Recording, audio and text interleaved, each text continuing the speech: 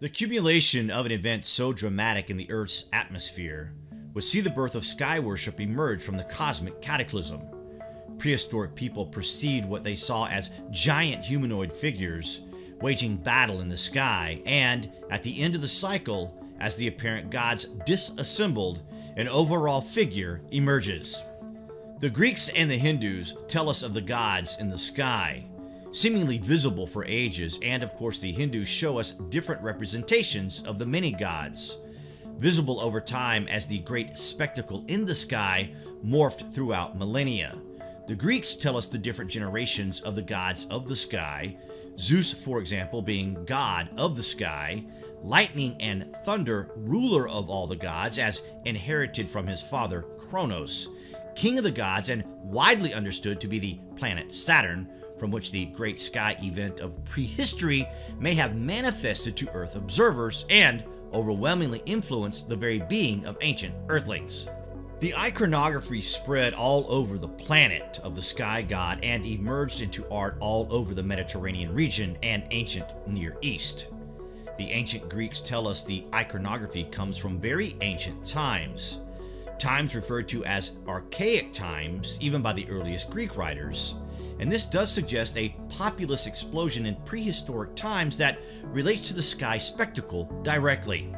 When the first of our kind re-emerged from the shelter of the caves and begin to again claw back civilization from the brink, they re-emerge with a thinking of appeasing gods of the sky.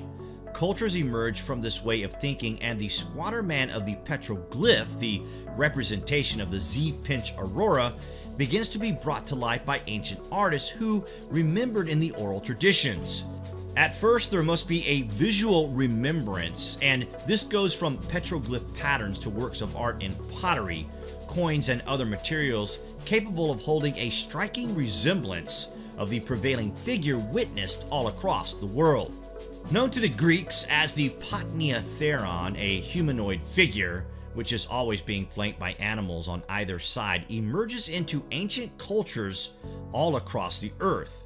This widespread motif is recognized as a precursor of worship, the cosmic entity of the lost age of humanity from the time when our skies went electric, when planet Saturn went supernova.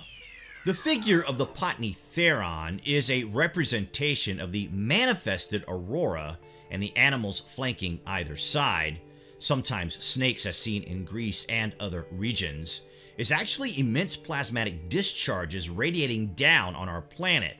The ancient Earthlings witnessed this. They believed this was a winged deity and they recorded this in petroglyphs. And later on, they would stylize their entire re-emergence of this event.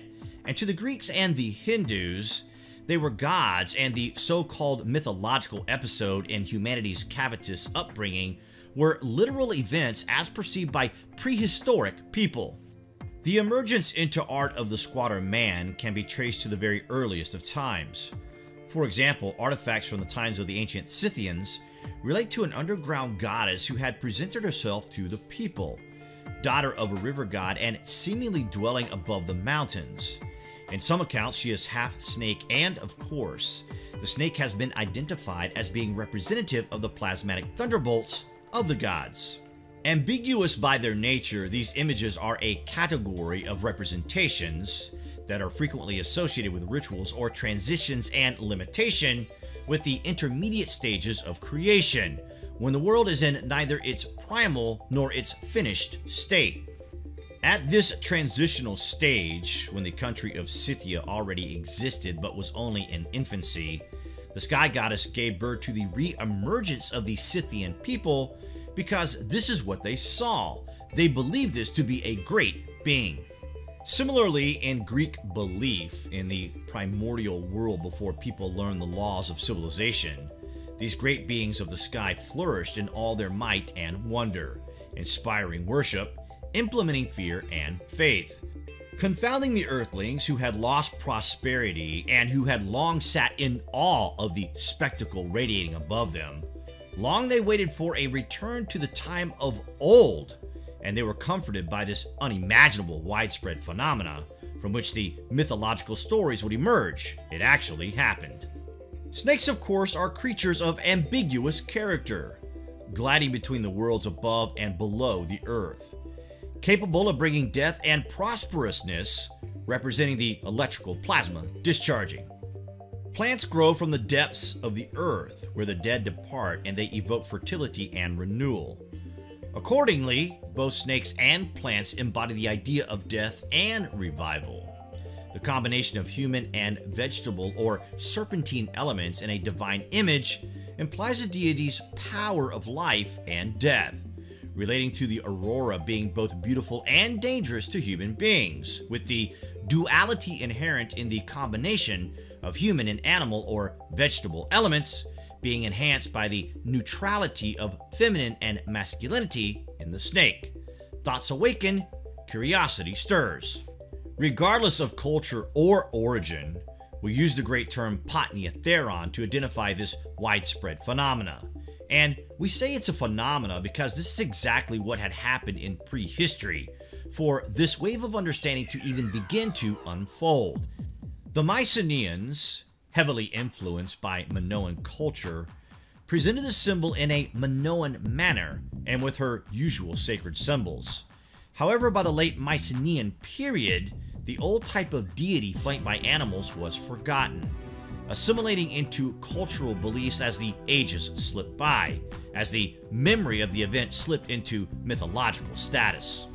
The sky goddess is usually described as a human deity, but some authors associate her not only with wild animals, snakes, and birds, but further with a sacred tree and pillar with poppy and some lily, and eventually she looked like a mistress of trees and mountains.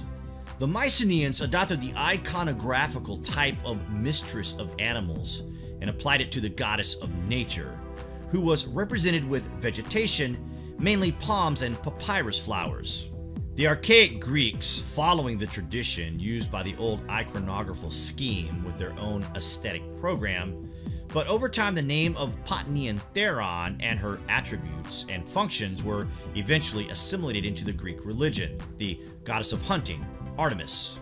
The earliest representations of the sky goddess are thought to be in the various strange Venuses found throughout Europe dating to the earliest of times with the seated woman found in Turkey in 1961, thought to date to 6,000 years before Christ, thought to be precursors of more advanced artistic renderings, assimilating into the Master of Animals which emerged in Mesopotamia in the 4th millennia before Christ, inspiring representations of human-animal hybrids in the ancient Near East and dynastic times of Egypt where a representation from 3500 BC, known as the Gebel el Arak knife, shows a figure in a Mesopotamian dress who grapples with two lions. It has been connected to the famous Pasupati seal from the Indus Valley civilization, showing a figure seated in a yoga-like posture with a horn headdress and surrounded by animals. This in turn is related to the figure on the Gundestrup cauldron, who sits with legs part crossed, has antlers, is surrounded by animals, and grasps a snake in one hand and a torc in the other. And even in ancient Britain, we see the continued cultural explosion of the great representation of the immense Aurora event in prehistory in the form of the Sutton Hoo purse lid, which has two plaques with a man between two wolves and the motif is common in Anglo-Saxon art and related early medieval styles, where the animals generally remain aggressive. The understanding of the past is a minefield, because we attempt to explain a happening in a comparison. By comparing what we see to what it looks like, and this is all related one way or another to the events recorded in the petroglyph record, the story of the events survived in the minds of the people for ages, and what they saw became godlike in nature to their thoughts. The evidence assembled over the past decades by David Talbot indicates that within human memory, extraordinary changes in the planetary system occurred.